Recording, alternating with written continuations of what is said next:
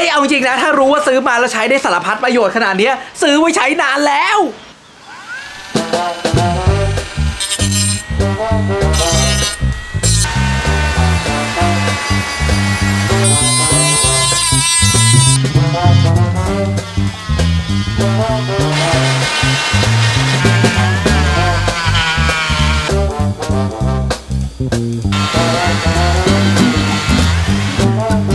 ตรงที่ขัดแล้วนะครับ สภาพก็จะดูแบบเงาใหม่เลยนะครับ สวัสดีครับเพื่อนๆอยู่ในช่อง T3B ครับ และนี่ก็คือช่วง T3B รีวิวเครื่องมือช่างอะไรที่ถูกคุ้มและดี ผมจะมารีวิวไว้ช่วงนี้นะครับ ที่บ้านสว่านก็มีลูกหมูก็มีแต่เพื่อนๆ เคยมีปัญหานี้ไหมครับ เวลาอยากจะตัดชิ้นงานเข้างานอะไรเล็ก ๆ หรือเจียงานละเอียดละเอียดเนี่ยอุปกรณ์ที่มีอยู่เนี่ยมันทำไม่ได้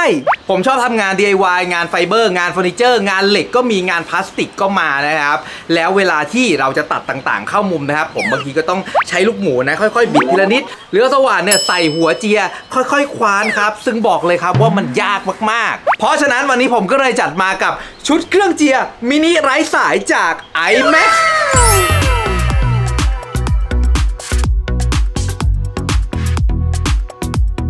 คือถ้าถามผมว่าเครื่องเจียมินิแบบนี้นะครับเราจะได้ใช้บ่อยไหมผมจะบอกเลยนะว่าจริง ๆ แล้วอะคงไม่ได้ใช้บ่อยครับ แต่เพื่อนๆรู้ไหมครับว่าเวลาเราทำงานละเอียดเนี่ยแล้วเราอยากจะเก็บงานให้ได้เนี่ยแล้วมันทำไม่ได้เนี่ยมันหงุดหงิดเหลือเกินครับ เพราะฉะนั้นนะวันนี้ผมก็เลยสั่งชุดเครื่องเจียมินิไร้สายของ iMax มานะครับตัวนี้จะบอกว่าราคาประหยัดมาก บอกทุกคลิปวิดีโอเลยนะครับว่าเครื่องมือช่างที่ดีเนี่ยไม่ใช่เครื่องมือช่างที่แพงที่สุดครับแต่เป็นเครื่องมือช่างที่เราซื้อมาแล้วใช้คุ้มค่าคุ้มราคาที่สุดครับ ซึ่งของ iMac เนี่ยเขาก็มีตัวที่มีสายแล้วก็ไม่มีสายนะครับ ตัวที่มีสายเนี่ยราคาก็ไม่ถึงพันนะครับ ส่วนตัวเนี้ยเป็นแบบไร้สายนะครับ ราคาก็แค่พันนิดๆเท่านั้นเอง ในชุดนะครับมาพร้อมกับอุปกรณ์ 58 ชิ้นนะครับ แล้วก็ตัวนี้ครับพิเศษมากๆนะ มาพร้อมกับหัวต่อรับใบมีด ตัวนี้ชื่อรุ่น IMMG V8 และสินค้า iMax ของแท้จากผู้ผลิตนะครับ ก็รับประกัน 1 ปีเต็มครับ โอเคนะครับ มาดูในกล่องนะครับ ตัวนี้ก็จะเป็นเครื่องเจียแบบไร้สายนะครับ ตัวขนาดนะถ้าเทียบกับเครื่องลมที่ผมใช้นะครับ ก็จะใหญ่ขึ้นมาสักนิดนึงนะครับ แต่ในการใช้งานจริงเนี่ยน้ำหนักไม่ได้เยอะนะครับ เราสามารถจับในลักษณะของเหมือนแบบจับดินสอก็ได้นะครับ หรือจะจับกำเต็มมือแบบนี้ก็ได้ ก็ถือว่ากระชับมือดีนะครับ น้ำหนักไม่เยอะมากนะ สามารถถือมือเดียวได้นะครับ แล้วก็ทำงานยาวๆเนี่ยก็ไม่เมื่อยครับ ก่อนจะไปรีวิวตัวเครื่องนะครับ เรามาดูตัวชุดอุปกรณ์ที่เขาให้มาก่อนนะครับ คือ 58 ชิ้นมีอะไรบ้างก็เต็มกล่องนี้นะครับอ่าซึ่งเราก็ไม่ต้องไปหาซื้อเพิ่มเติมนะ ก็จะมีพวกหัวขัดกระดาษทรายนะครับ อันนี้แบบพวกแบบอะไรนะแปรงเหมือนแปรงทองเหลืองนะ ขัดสนงขัดสนิมตามขอบเล็กๆสำหรับเพื่อนๆที่เป็นมือใหม่ยังไม่เคยใช้เลยนะครับ จะได้เข้าใจง่ายๆนะครับ ผมแบ่งหัวต่างๆ ไว้แบบนี้นะ อันแรกก็คือเป็นหัวกระดาษทรายนะครับ แบบที่เป็นปลอกนะจริงๆเขามีมาให้หลายตัวเลยซึ่ง เราจะใช้คู่กับตัวที่เป็นหัวดอกยางแบบนี้นะครับ ตัวดอกยางตัวเนี้ยนะครับเราก็ใส่เข้าไปกับตัวเครื่องเจียได้เลย ส่วนตัวหัวเนี่ยกระดาษทรายเนี่ยเราก็เสียบอย่างนี้นะครับ พอกระดาษทรายมันเริ่มหมดอายุละนะครับ เราก็เปลี่ยนเฉพาะตัวกระดาษทรายแบบนี้ครับ หัวแบบที่2นะครับก็จะเป็นหัวแบบนี้ที่เราหาซื้อได้ทั่วไปเวลาเราซื้อเครื่องเจียร์นะครับก็มักจะใช้หัวแบบนี้นะครับแต่เนี้ยเขามีรูปทรงมาให้เราเยอะหลายรูปทรงนะครับหลายแบบนะ ตัวเนี้ยผมชอบเอาไปใช้สำหรับการตกแต่งงานไฟเบอร์นะครับการขัดลายเม็ดเชื่อมต่างๆ ตามมุมนะครับผมก็จะใช้ลักษณะคล้ายๆแบบนี้อ่าเซตที่3นะครับพวกนี้นะก็จะคล้ายๆ พวกดอกสว่านนะครับ แต่ตรงหัวเนี่ยเขาจะเป็นผมเรียกว่าอะไรเดียคือผมก็ไม่รู้เขาเรียกอะไรนะ ผมจะเรียกว่าพวกหัวขัดเพชรนะครับ คือพวกนี้เราสามารถเอาไปขัดพวกเหล็ก พวกกระเบื้องนะครับ หรือว่าไปเซ็นลายเซ็นนะครับ ลงไปบนแผ่นเหล็กอะไรต่างๆ ได้นะครับ ก็จะเป็นหัวเล็กๆ แบบนี้นะ ผมไม่แน่ใจนะ เออเขาเรียกเขาเรียกหัวมิลลิ่งป่ะใช่ไหม อ่าผมอันนี้ผมก็ไม่แน่นะหัวอีกแบบหนึ่งนะครับแบบนี้นะครับผมจะเรียกว่าหัวขัดนะ หัวขัดนะครับ ซึ่งพวกนี้ยวัสดุมันจะเป็นเหมือนผ้านะครับ อย่างเวลาเราขัดชิ้นงานต่างๆนะครับที่เวลาทำ car detailing นะแล้วชิ้นงานที่แบบมันอยู่ซอกจริงๆนะครับเราอยากจะขัดสีนะครับแล้วทำไม่ได้นะพวกนี้จะช่วยให้เราทำได้นะครับหัวแบบนี้เราก็เสียบไปกับเครื่องเจียร์ของเราได้เลยนะครับส่วนจะมีหัวแบนๆมาแบบนี้นะครับเราจะใช้กับตัวนี้ครับ ที่เหมือนกับหัวน็อตนะ เราก็จะเอาใส่เข้าไปอย่างนี้บนผ้านะครับ ขันเข้าไปอย่างนี้เลยขันเหมือนขันสกรูนะอ่าตัวผ้าก็จะล็อกกับตัวสกรูแบบนี้นะครับแล้วเราก็เอาเข้าไปใส่กับตัวเครื่องเจียร์ครับเอาตัวนี้เพื่อนๆก็รู้จักกันดีอยู่แล้วนะครับเป็นคล้ายๆแบบแปรงทองเหลืองนะครับ ไว้สำหรับขัดซอกต่างๆ ที่เป็นสนิมแล้วสุดท้ายนะครับก็คือพวกใบตัดนะครับกับแป้นใบเจียนะ อันนี้ก็จะเป็นพวกตัวพวกกระดาษทรายแผ่นเล็กนะครับอ่าอันนี้ก็จะเป็นแบบ ใบตัดเพชรนะครับ ไว้ตัดมุมกระเบื้องแบบเล็กๆเลยนะอ่าแล้วก็สุดท้ายนะครับก็จะเป็นพวกใบตัดนะครับเหมือนพวกใบตัดไฟเบอร์นะครับ ซึ่งเวลาใช้นะครับเราก็จะใช้กับตัวแกนตัวนี้นะครับ ตัวแกนตัวนี้หัวเขาจะถอดได้เนี่ยครับพอเราถอดหัวเขาออกมาเสร็จเรียบร้อยนะครับ แล้วเราก็เอาตัวแผ่นแป้นเนี่ยเสียบลงไป ทุกคนเสียบไปแบบนี้นะ ให้ตัวแป้นรองนะครับ สีแดงอยู่ทั้งล่างข้างบนนะครับ แล้วเราก็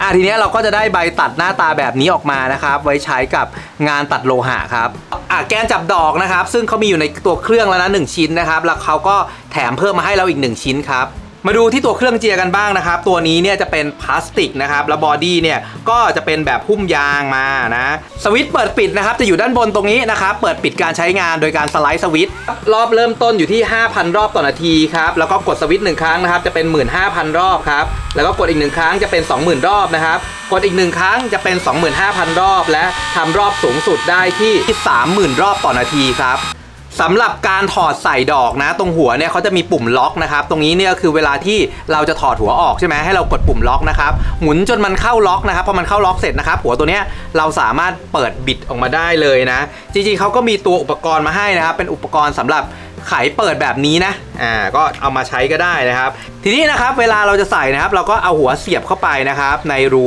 นะ แล้วก็ทำการขันให้แน่นครับ ขันน็อตให้แน่นเสร็จนะครับ เราลองเปิดดูครับ ครับอ่าหัวขัดต่างๆครับของเราก็จะทำงานละอ่าทีนี้ถ้าใครทำงานตัดงานเจียมันก็จะมีสะเก็ดไฟกระเด็นมาโดนมือใช่ไหมครับอ่าตัวเราก็ถอดตัวนี้ออกนะเขาก็จะมีตัวนี้มานะ เป็นกาดกันมือครับอ่าผมใส่เข้าไปก่อนนะ เวลาเราทำงานที่มีผงมีสะเก็ดอะไรกระเด็นนะครับ ตัวนี้ก็จะคอยป้องกันนะครับสะเก็ดต่างๆ ไม่ให้กระเด็นมานะครับ แต่อย่างไรก็ตามก็แนะนำให้เพื่อนๆนะครับ ใส่หน้ากากใส่แว่นป้องกันไว้ด้วยนะครับ เวลาทำงาน อะสำหรับคุณแม่บ้านนะครับที่สามี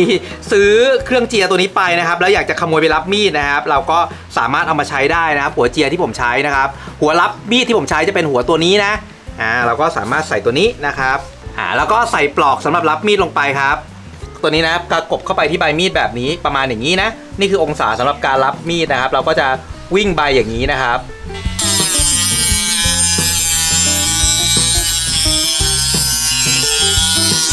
นอกจากลองรับมีดแล้วนะครับผมลองเปลี่ยนดอกแบบต่างๆ มาลองใช้ดูนะครับอย่างตัวดอกขัดสนิมเนี่ยก็สามารถขัดสนิมตางซอกต่างๆ ได้ดีทีเดียวครับ พวกสนิมตรงเนี้ยที่ผมเอาออกไม่ได้นะครับ ก็สามารถเอาออกได้ครับ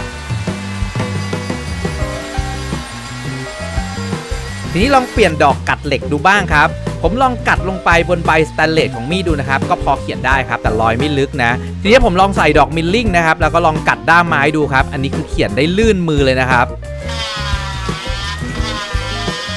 อ่าอย่างแรกนะครับก็คือตัวใบเจียรับมีดนะครับ ผมชอบนะ เพราะว่า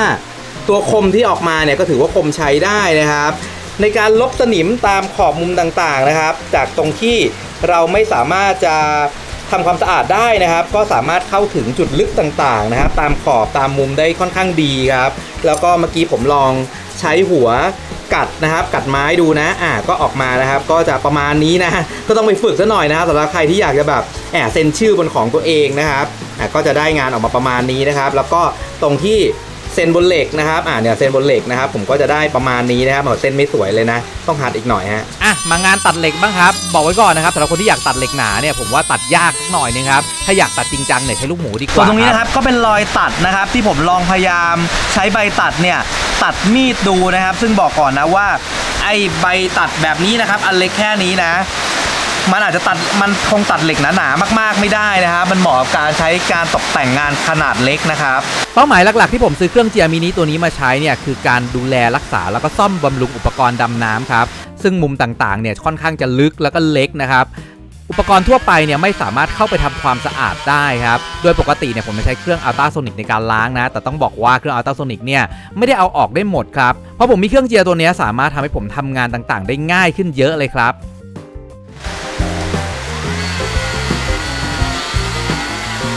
แค่นี้เองนะครับ ส่วนที่เป็นสนิมก็หายไปเรียบร้อยครับ ใครที่เป็นคนสะสมเหรียญเก่าโลหะเก่านะครับ เดี๋ยวเราลองมาดูฟื้นสภาพเหรียญกันดูนะครับ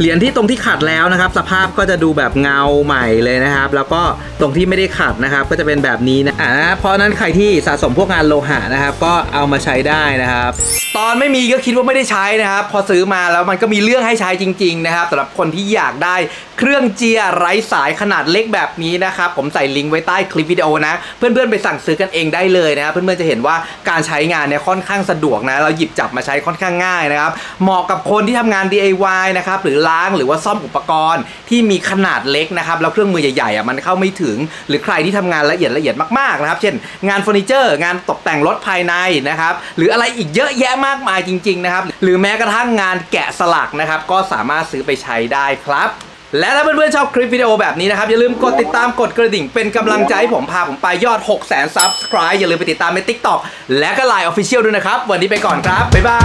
อย่าลืมกด subscribe ใครใคร และอย่าลืมกดไลค์ไลค์ไลค์แชร์กันไป แชร์กันไป